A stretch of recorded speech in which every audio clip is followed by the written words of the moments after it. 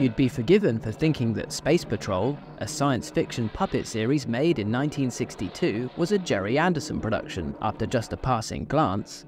But this, however, is not the case. Space Patrol was produced by the author Roberta Leigh and Gerry's former business partner, cameraman Arthur Provis. Together, they'd all made The Adventures of Twizzle in 1957, which proved to be AP Films' first break into television. Torchy the Battery Boy followed, and after the first series was complete, Roberta parted company with the filmmakers, and the second series was produced elsewhere. Arthur and Gerry went on to make Four Feather Falls, during which Arthur left the company, and Gerry continued on to conceive the filmmaking technique dubbed supermarionation. The rest, as they say, is history. Amongst all of this, Roberta Leigh and Arthur Provis continued their association, and together they made Space Patrol. After Torchy was such a success, um, it started me thinking that Torchy was for very young children, and I know some older children watched it, and I thought it would be great fun to do a space series for older children. There wasn't anything around at that time. Well, Space Patrol came about basically um, because we got interest in, I think it was from ABC television in those days, that the sort of science fiction thing would be possible, they'd probably buy.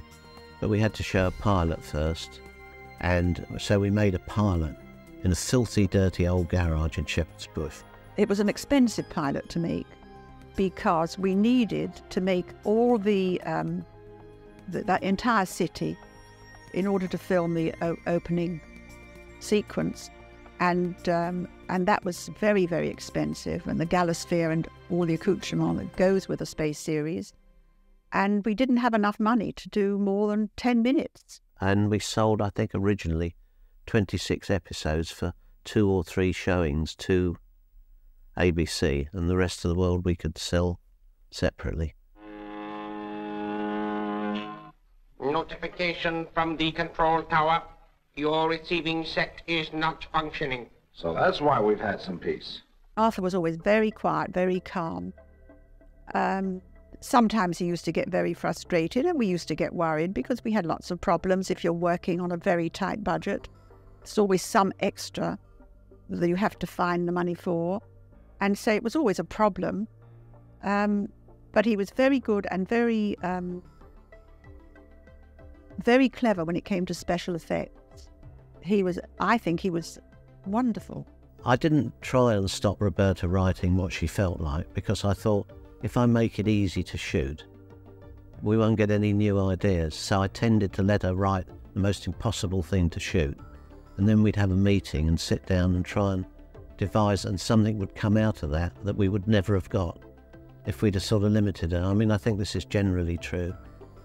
And some of the things were just, I thought, how ever are we going to shoot this? And we'd sit down, ah, but wait a minute, if we did so and so. And then we we would sometimes end up with something very good. I chose the puppets, decided whether they were right or not, um, and the music, and I was in for all the, the sound effects, the dubbing, the editing.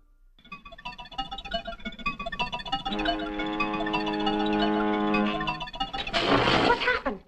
The lights are fused. If there was anything Arthur particularly didn't like, obviously we would, you know, go over it. We never, we would never agree to disagree.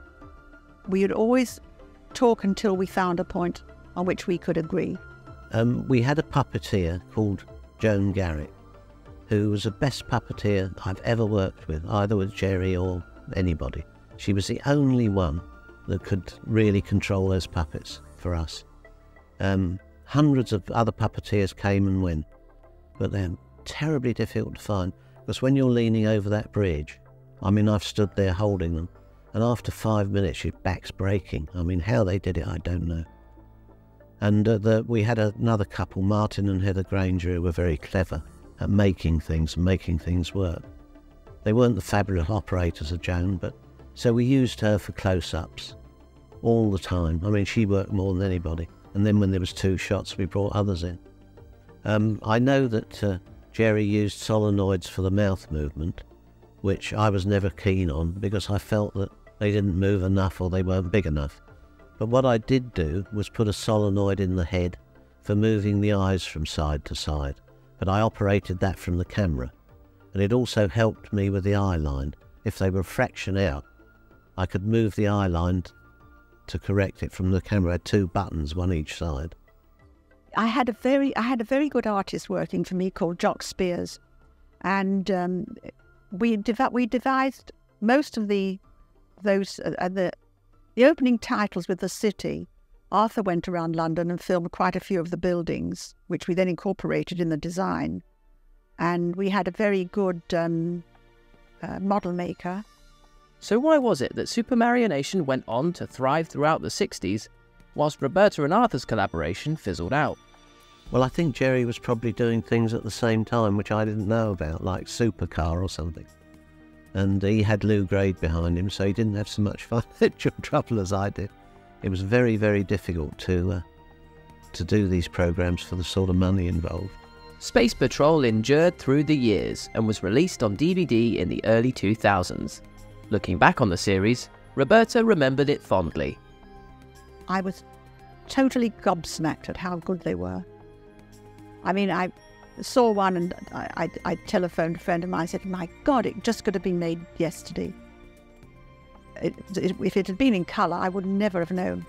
I would have thought it was made yesterday because it's so valid. You see, it's still so valid. More so now because children know that the things that I was saying about the planets um, were not untrue. Today, the series holds up and has garnered a big following, and now it will be available all over again from Anderson Entertainment.